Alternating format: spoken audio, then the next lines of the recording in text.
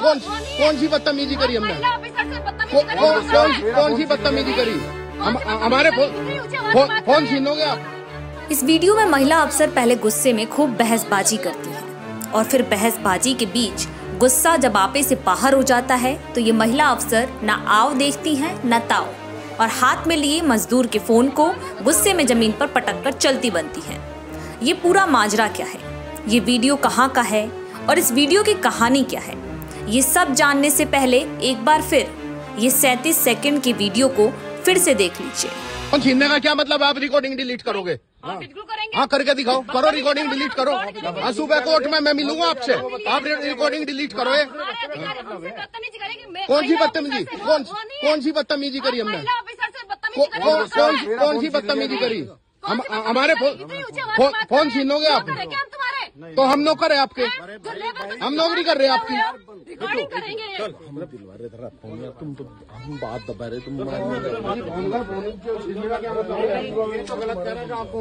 ये कौन है। बताओ ये बताइए। इनकी दस सालों की। ये लीजिए।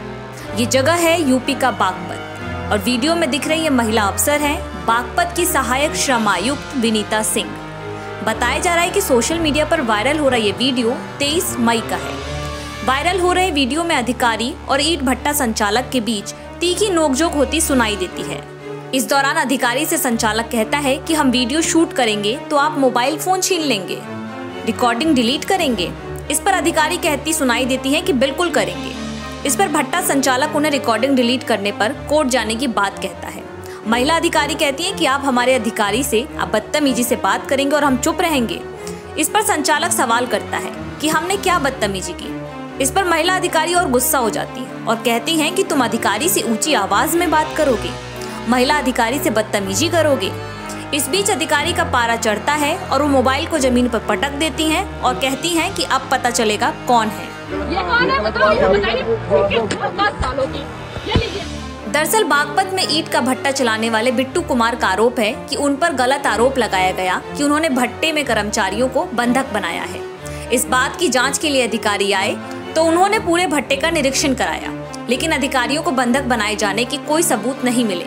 इसके बाद अधिकारियों ने मुझसे एक लाख रुपए की मांग की। मैंने पंद्रह हज़ार रुपए दे दिए, पिचासी हज़ार रुपए बाद में देने की बात कही। इसके बाद 16 मई को एक बार फिर अधिकारी भट्टे पर आए। हर जाँच और बयान में मेरा पक्ष सही होने के बाद भी पैसे की मांग की गई।